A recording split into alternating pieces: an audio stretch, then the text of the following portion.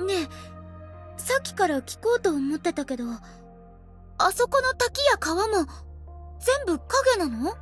もちろん。ここの人たちはあれを英単って呼んでるよ。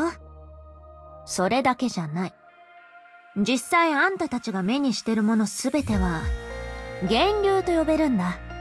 太陽と月みたいな存在かな？ただ、あまり近づかないで。万が一落ちたら、うちでも多分溺死しちゃう。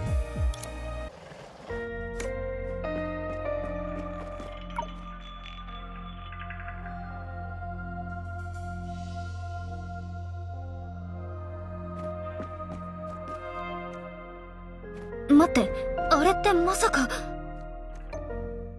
らみんなこれだよ。これは週末のアンカー？嘘。夢追い人知ってるの？うん私の故郷では唯一無二の文物だったつまりこれがこの世界から出るための通路なの？少なくともうちが聞いた話じゃそうだよ。でも今はクズ鉄とあまり変わらない。でなきゃうちだってとっくに離れてたよ。あんたの故郷では別の使い道があったりしないの？うん。私たちは世界の間にある通路と関係があるとは思ってないんだ。私の故郷では週末のアンカーは星空からの贈り物って思われてる。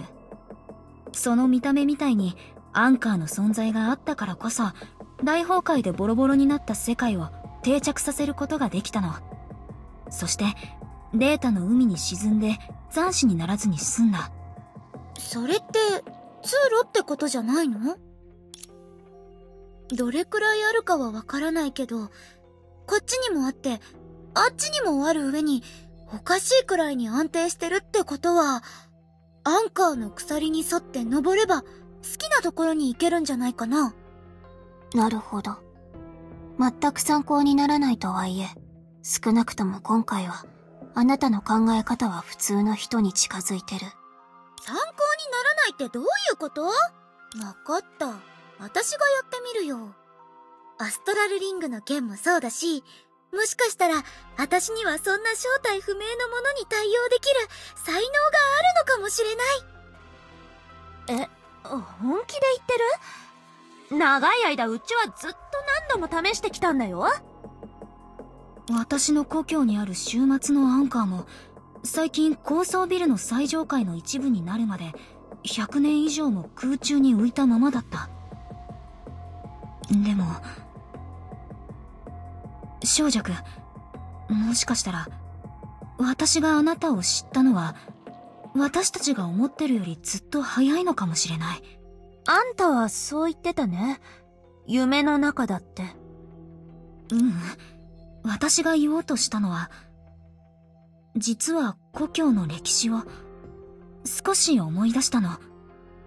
今までその歴史の中にあった名前を気にしてなかったけど、逆に言うと、小弱の記憶で、老朽はかつて別の世界と同じものだったりしなかった？え？どうしてそれを？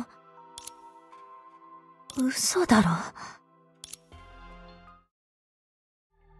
浅い知識なんだけど、自身の世界を離れることを代価にして、大崩壊を乗り越えられるように、私たちに協力してくれた人がいた。そんな物語が、今でも私の故郷で語り継がれているんだ。琥珀街にいた時、ある看板に気がついたの。私の故郷では、同じ看板を別の老舗が使ってる。あの時の私は、ただの偶然だと思ってたけど、週末のアンカーの件も加えるとは。待って、つまり、当時のうちらは成功したってこと？邪魔してごめんね。でもこれっていつも通りの動きなの？